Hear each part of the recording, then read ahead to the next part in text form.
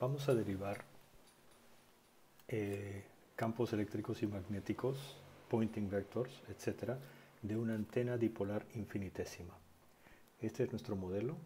Tenemos nuestra antena dipolar siendo alimentada por una línea de transmisión. La longitud de nuestra antena es L, es decir, de aquí, acá tenemos una longitud L. La antena está siendo alimentada por una corriente sinusoidal y vamos a concentrarnos a analizar en el punto R estos campos. El punto R empieza en el origen, que es en la mitad de las antenas, y el punto R también es definido por el ángulo Z. Entonces lo que vamos a ver ahorita es que vamos solo a ver un análisis que tiene que ver cuando R es mucho, mucho más mayor que L, es decir, una antena infinitésima.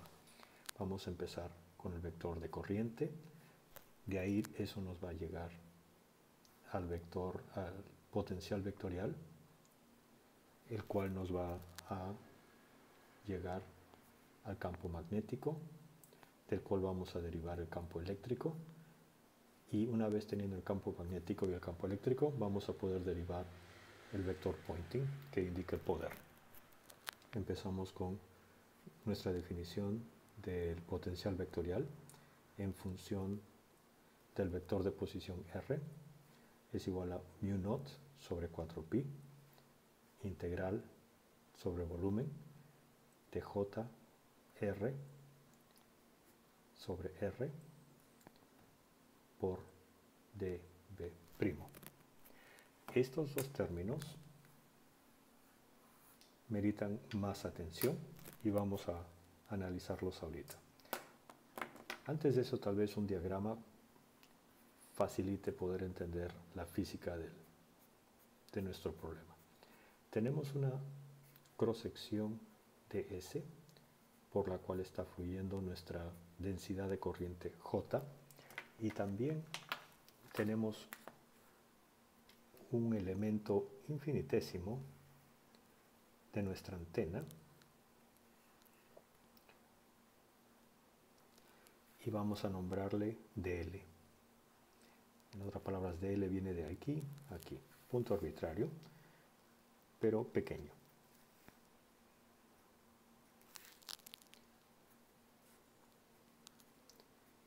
DL. Okay. Entonces regresamos a nuestros dos términos de acá arriba. Tenemos J, R, dB' igual a J de R ds por dl y vamos a asumir que tenemos nuestra antena en la dirección z.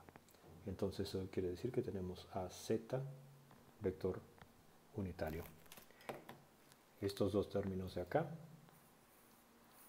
podemos recurrir a una definición, que es la definición de corriente. Corriente es igual a estos dos términos, la densidad de corriente por la eh, área de superficie, de L a Z vector unitario. Siguiente, vamos a ver nuestra corriente aplicada, que es eh, variable, periódica, es I0 por E a la menos IKR, lo cual implica que nuestra densidad de corriente J sea igual a I0 E a la menos IKR dl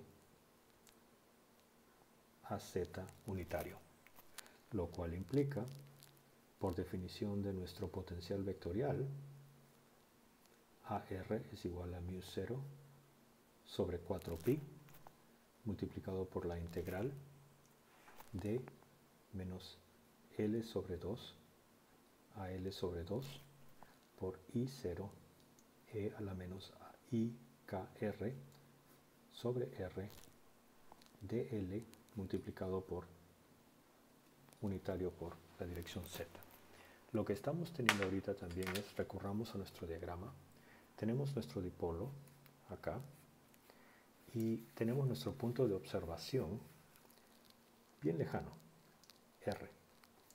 De tal forma que si fuéramos a definir esta línea y digamos que es R sub L sobre 2 y definamos esta otra línea del otro extremo de nuestro dipolar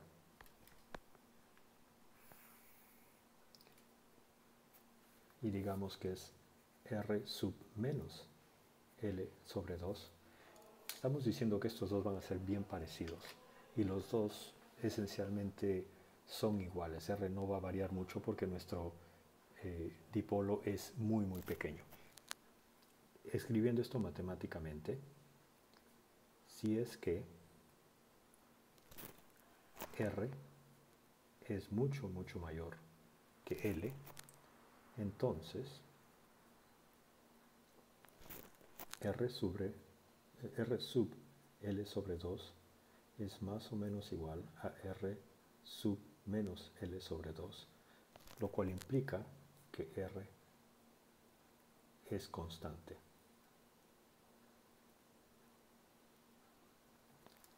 Con ese argumento entonces podemos sacar términos de la integral.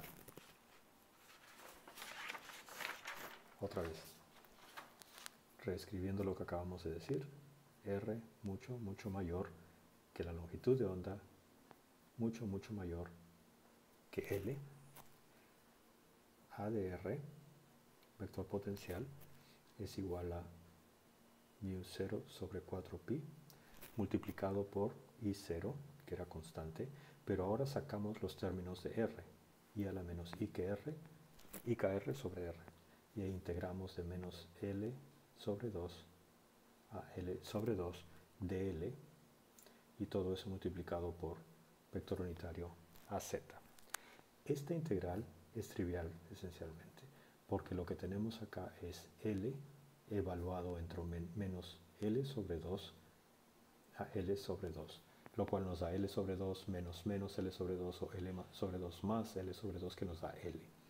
Entonces, nuestra expresión para potencial vectorial sin mucho trabajo hemos llegado a este punto de poderlo escribir de esta forma.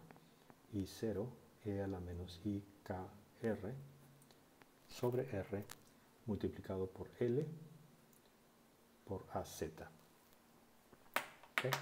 Ese es un punto importante. Vamos a ponerlo en, azul en lugar de rojo por que es importante pero no es el final.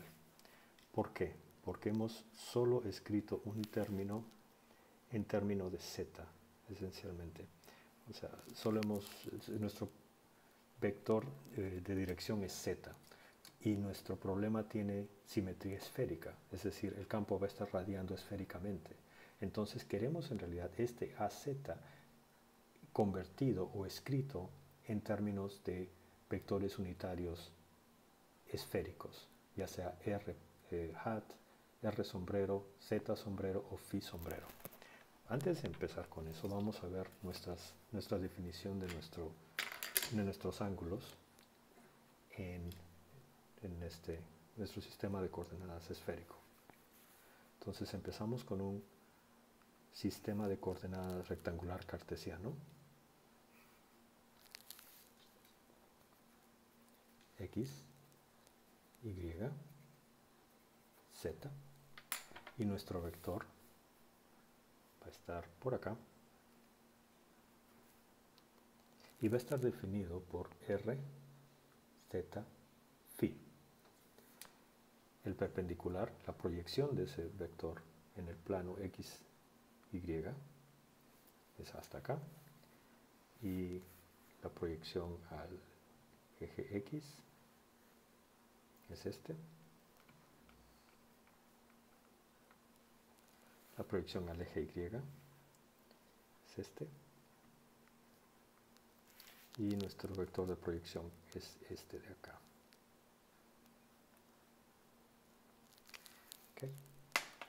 El ángulo desde el cenit es θ, el ángulo de rotación en el plano XY es phi. Entonces de esta forma aclaramos los, los ángulos que vamos a estar usando. Ahora bien, el punto en que dejamos este problema es que queríamos expresar este término de acá, AZ, en términos de vectores unitarios esféricos, lo cual es lo que vamos a hacer ahorita.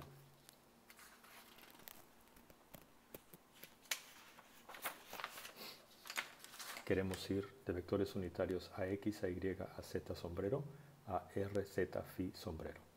Para eso podemos buscar en, en, tablas matemáticas eh, la matriz de transferencia, de transformación, y vemos que esta es la matriz multiplicada por los vectores unitarios en coordenadas rectangulares cartesianas, nos dan vectores unitarios en coordenadas esféricas. Esta matriz de acá, que le estamos nombrando A, es la matriz de transformación de coordenadas cartesianas rectangulares, de un sistema de coordenadas cartesianas rectangulares a un sistema de coordenadas esférico. Pero esto no es lo que estamos buscando en realidad. Lo que estamos buscando es de la otra, de la otra dirección, es decir, expresar a z en términos de, r sombrero y z sombrero y phi sombrero. Entonces lo que queremos en realidad es el inverso de esta matriz, que es exactamente lo que hacemos acá. El inverso de la matriz es una operación de álgebra lineal, pero lo que vamos a hacer nosotros es no involucrarnos mucho con cómo sacar un inverso de una matriz, sino queremos ir de estos unitarios a estos unitarios. Entonces acá tenemos esta matriz de transformación que es el inverso de A y esa multiplicada por los vectores unitarios esféricos nos da los vectores unitarios de eh, coordenadas cartesianas rectangulares, que es lo que estamos buscando. En particular, lo que estamos buscando es el AZ, que podemos ver acá que es una suma entre este término multiplicado por R sombrero, que da coseno Z, coseno 2 phi, dividido entre coseno 2 phi, multiplicado por R sombrero. El único sobreviviente es el coseno phi, el coseno Z que está acá, y el R sombrero está acá. Aditivamente podemos ver este término de acá multiplicado por z sombrero. Esto de acá es menos seno z, que da acá, porque el coseno de 2 phi sobre el coseno de 2 phi cancelan a 1. Y el término eh, z sombrero. El último término aditivo sería este término, pero está multiplicado por 0, por phi, cosa que va a 0. Esto de acá entonces es nuestro término de AZ. Ahora, sabiendo cómo expresar AZ, podemos entonces nosotros expresar AR vector potencial es igual a mu naught sobre 4pi multiplicado por i0 e a la menos i k r sobre r multiplicado por l multiplicado por coseno de z a R sombrero menos seno de Z a sub Z sombrero. Ahora bien, sabemos que el flujo magnético es igual a del producto cross con el vector potencial, el vector potencial. Y también sabemos que el campo magnético es igual al flujo magnético dividido entre mu cero. Entonces B igual a del cross A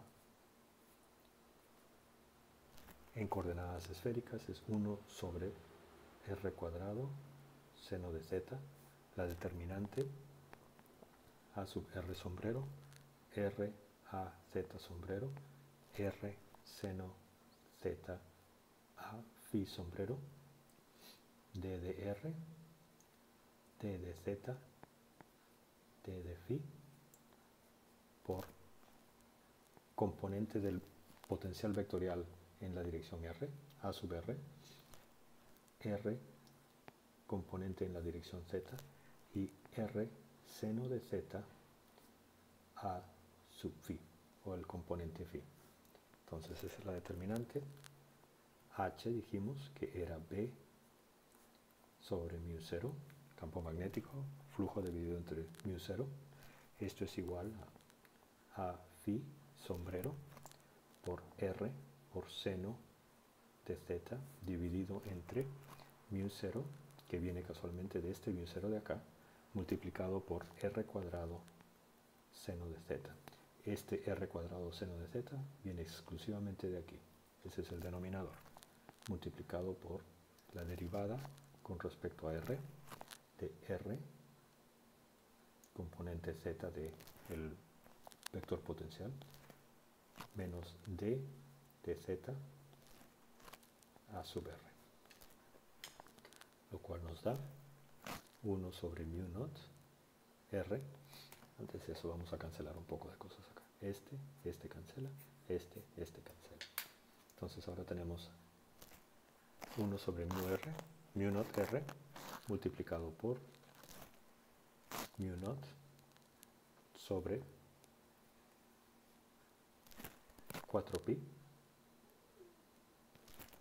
multiplicado por i0 multiplicado por L por esta derivada, que es la derivada con respecto a R, de R por E a la menos IKR sobre R, va a haber una cancelación ahí, multiplicado por menos seno de Z, menos.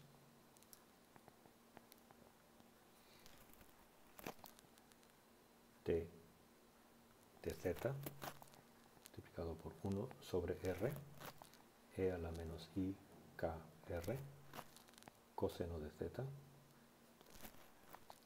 cerramos paréntesis, multiplicado por a phi sombrero. Podemos hacer algunas cancelaciones rápidas acá, en cero, pero la importante es esta de acá, porque al cancelar ahí tenemos una cancelación importante porque estamos reduciendo nuestra dependencia en R en, uno de los términos.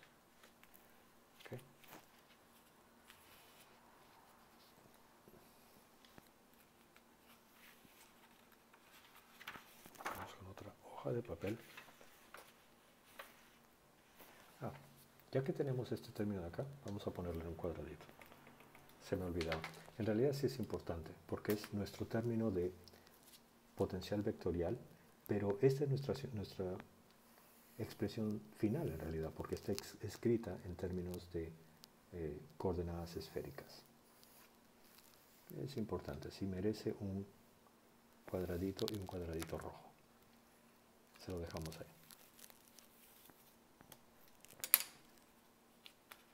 Ok, bien, seguimos.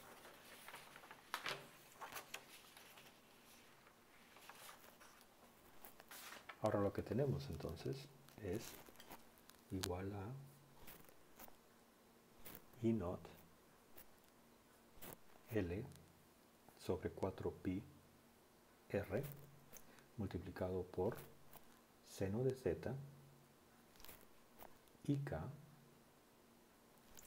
E a la menos IKR menos 1 sobre R E a la menos IKR menos seno de z, cerramos paréntesis, multiplicado por vector unitario en la dirección phi.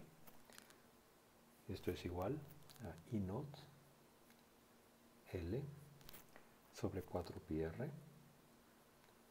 Sacamos los senos de z hacia acá fuera del paréntesis. Tenemos también el e a la menos i k r, que es un término común y tenemos acá IK más 1 sobre R a phi sombrero. Esto es igual I not L 4pi. Vamos a poner este R dentro del paréntesis, entonces vamos a poner acá seno de Z y ponemos acá menos K sobre IR menos 1 sobre IR cantidad al cuadrado E a la menos IKR por A phi unitario. Entonces lo que tenemos acá, todavía podemos un, un paso más. Y decimos, aunque ya está un poco aparente ahí, lo que vamos a hacer en términos de r r al cuadrado, vamos a hacer un paso más para que sea más simple. Vamos a sacar el k cuadrado, seno de z, y vamos a tener 1 sobre ikr más 1 sobre ikr cuadrado. Y vamos a poner acá e a la menos ikr, e phi sombrero. El punto que queríamos llegar es este. Tenemos este común denominador acá, pero lo importante es que tenemos este común denominador al r cuadrado. Entonces, esto de acá, en términos de r siendo mucho, mucho mayor, mucho, mucho mayor que l, este término va a ir a cero en nuestra aproximación. Entonces podemos decir, vamos a eh, olvidarnos o evitar términos de orden 1 sobre r cuadrado. Lo cual quiere decir que aquí podemos decir 0 y vamos a hacer que no es igual sino es aproximado, porque esa es nuestra aproximación, evitando los términos de 1 sobre r cuadrado.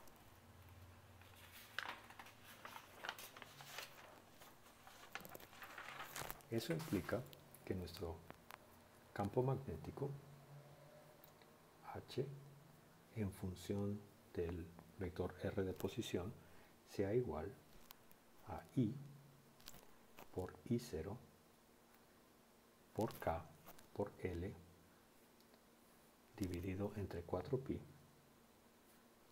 multiplicado por los términos de r e a la menos i k r sobre r multiplicado por el seno de z el vector unitario en la dirección phi a phi sombrero. Este término entonces es el otro muy importante, que es el otro que queríamos derivar, que es el campo magnético a causa de un dipolo infinitésimo. Y vemos ahora que estamos usando esa aproximación infinitésima para poder evitar esos términos 1 sobre el r cuadrado. Bien. Siguiente, de H ahora vamos a E. ¿Cómo vamos a E? Bueno, escribimos acá. Vector eléctrico es igual a 1 sobre I omega epsilon 0 del cross H de R.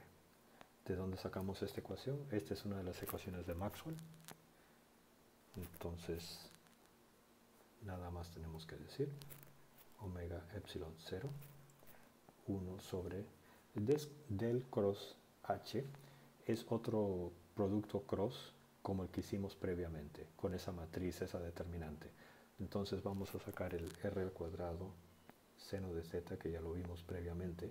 No voy a hacer toda esa matriz otra vez porque la podemos revisar, eh, pero el resultado para este tipo de calculación es la derivada en esta vez para con respecto a z multiplicado por r seno de z, componente de h en la dirección phi,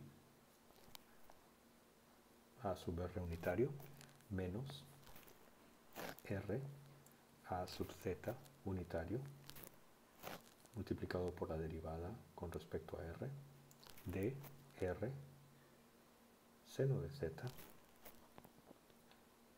h phi, componente, y eso, eso es. Ahora, lo que podemos ver acá es que tenemos un R que puede salir a este lado de la derivada porque no tiene dependencia en z. Entonces es una constante en cuanto a esta derivada eh, le, pertiene. Es más, este R entonces puede cancelar con uno de estos R porque tenemos otro R acá. Entonces simplificamos un poco en cuanto a R y podemos llegar a esta expresión 1 sobre i omega epsilon 0 multiplicado por a sub r sombrero sobre r seno de z multiplicado por la derivada con respecto al ángulo z de seno de z h phi, componente del campo magnético en, dirección phi, menos a z sombrero multiplicado por d de r R, H, phi. Hasta este momento todo conforme.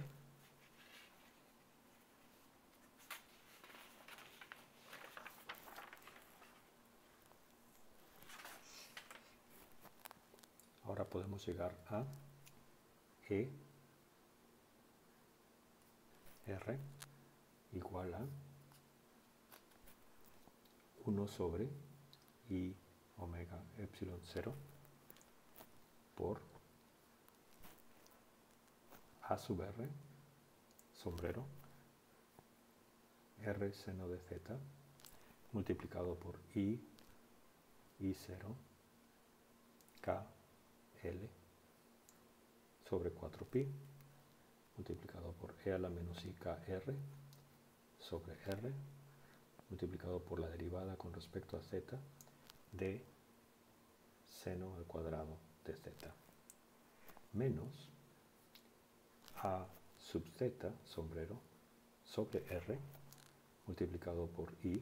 Notemos que i es la, la raíz cuadrada de menos 1 multiplicado por y capital 0, cosa que no debería de haber confusión, K, L sobre 4pi multiplicado por seno de z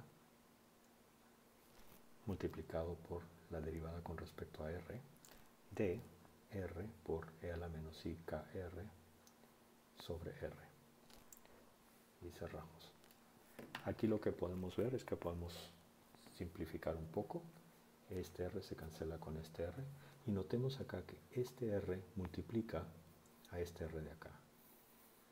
Y lo que tenemos acá es el famoso término R al cuadrado, similar a lo que vimos con el campo magnético. Entonces lo que vamos a hacer ahora es no hacer tanta derivación como hicimos la vez previa, sino de una vez decir vamos a evitar términos de la orden de 1 sobre R al cuadrado. Esa va a ser nuestra aproximación. Y lo que podemos hacer ahora es todo este término de acá, lo vamos a escribir como cero.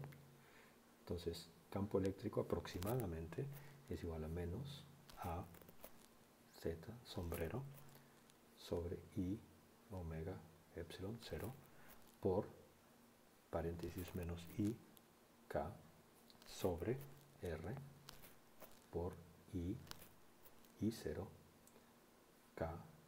L sobre 4pi multiplicado por seno de z multiplicado por e a la menos i k r. Aquí podemos simplificar un poco. Podemos decir, estos dos negativos cancelan, estos dos i cancelan, y lo que llegamos es campo eléctrico aproximadamente igual a a z sombrero multiplicado por i k sobre omega epsilon 0 multiplicado por i 0 k l sobre 4pi multiplicado por e a la menos i k r sobre r multiplicado por el seno de z. Ahora lo que tenemos acá en nuestra derivación es un par de relaciones importantes. La relación de dispersión en este caso es esa. Y también lo que tenemos es la definición de C siendo 1 sobre mu 0, epsilon 0 a la potencia menos un medio. Esto de acá lo traemos a, resaltar porque vamos a resaltar, vamos a sustituir estos términos acá y estos términos acá. Eso implica que en esa combinación tenemos epsilon 0 sobre mu 0 raíz cuadrada. Pero esto no es ni más ni menos que 1 sobre la impedancia característica del vacío. Y es importante porque queremos expresar el campo eléctrico en términos de la impedancia característica si es posible. En este caso sí lo es y así lo vamos a hacer. Con ese resultado entonces podemos decir que E función de R es igual a aproximadamente, con nuestra eh, aproximación de, del campo lejano, y Z0, K, I0 L sobre 4pi multiplicado por E a la menos I K R dividido entre R multiplicado por seno de Z multiplicado por A Z sombrero. Esto de acá es el otro resultado que buscábamos en la ecuación para el campo eléctrico de un dipolo infinitésimo. Una vez más, esa aproximación de 1 sobre r al cuadrado siendo, yendo a cero, esos términos yendo a cero, es porque tenemos casualmente un dipolo infinitésimo. Vamos entonces ahora al vector pointing. Promedio es igual a la mitad multiplicado por el componente real de E de R cross H de R conjugado complejo. Ahora, conjugado complejo quiere decir que nada más y nada menos cambiamos los más is a menos is y viceversa. Entonces esto nos da medio componente real de paréntesis y z0, estoy copiando de acá arriba, k i 0 l sobre 4pi multiplicado por e a la menos ikr sobre r multiplicado por el seno de z multiplicado por el término de hr. Tenemos un i, pero en este caso es menos i porque es eh, conjugado complejo. Eh, i0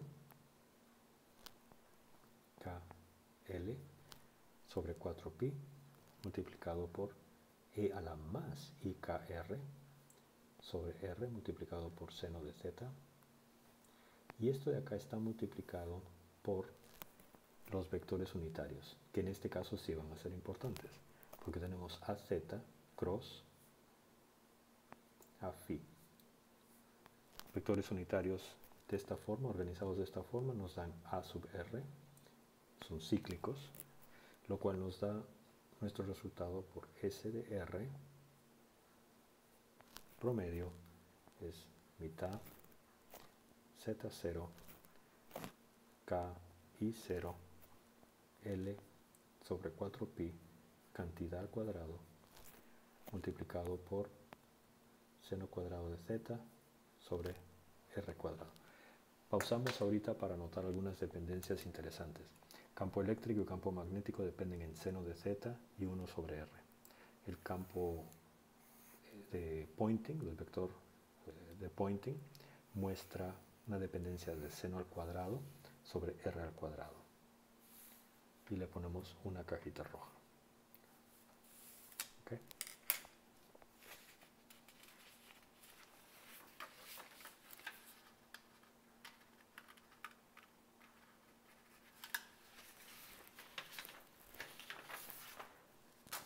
Último paso, porque no tengo más papel, es la derivación de potencia radiada o irradiada.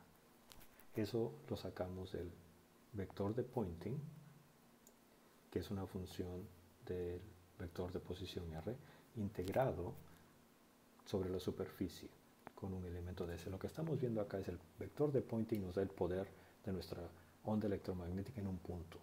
Lo que estamos ahora estamos sacando, el, eh, integrando, sumando todos los componentes esféricos, esencialmente el poder que está totalmente siendo irradiado por este dipolo infinitésimo, lo cual es igual a un medio por z0 por k i 0 l cantidad al cuadrado dividido entre 4 pi cantidad al cuadrado. Y vamos a ver por qué lo estoy escribiendo así porque vamos a hacer unas cancelaciones en un ratito. Tenemos una doble integral. La primera es de 0 a 2 pi sobre d phi, d phi y la otra es 0 a pi sobre z eh, la dependencia de z y r es seno al cuadrado de z sobre r al cuadrado multiplicado por el elemento de superficie en, estas, en, en coordenadas esféricas, que es r, al cuadrado seno de z de z de phi. Cuando integramos 0, 0 a 2pi por de nos da phi, evaluado entre 2pi y 0. El componente de 0 no da nada, no aporta nada. El componente de 2pi aporta 2pi. Entonces de esa integral sacamos un 2pi. Tenemos mitad z0 k y 0 l cantidad al cuadrado sobre 4pi cantidad al cuadrado por 2pi que proviene de nuestra integral de d phi multiplicada por esta integral de 0 a pi de esta cantidad. R al cuadrado está cancelando acá, cosa que eso no contribuye, pero estos dos de acá nos dan una integral en dz de seno al cubo. Esa integral la, hicimos previamente en eh, una derivación que hice acerca de la ecuación del armor. Entonces, esta integral nos da, de seno al cubo, de 0 a pi, nos da 4 tercios. No la voy a derivar ahora porque uno puede referenciar a esa integral o puede hacerla en, tiempo, eh, tiempo propio. 2 es cancelado acá, un pi cancela, el otro, un 4 de estos cancela con esto y tenemos un 4 multiplicado que, que sobrevive multiplicado por 3 y tenemos el pi también en el denominador. Entonces tenemos como último resultado P total, potencia radiada o irradiada por nuestro dipolo infinitésimo es Z0 por K y 0 L cantidad al cuadrado dividido entre 12 pi. Entonces lo que hemos hecho, eh, también es este, esta, esta expresión la vamos a poner en cuadradito rojo, lo que hemos hecho, haciendo una pauta ahorita, hemos empezado con J, que es la corriente de densidad, de ahí sacamos el potencial vectorial A, de ahí sacamos el campo magnético H, de ahí sacamos el campo eléctrico E, de ahí sacamos el vector de Poynting S. Y después lo integramos esféricamente y sacamos esta potencia irradiada completamente eh, en todas direcciones por nuestro dipolo infinitésimo. Hemos tomado aproximaciones del dipolo infinitésimo, el cual nos ha permitido llevar a cero los términos de 1 sobre r al cuadrado. Entonces, el dipolo infinitésimo es una antena no muy eficiente, pero es un punto que nos va a conllegar al estudio de los dipolos finitos, los cuales sí son de utilidad bastante amplia. Bueno, eso concluye la derivación.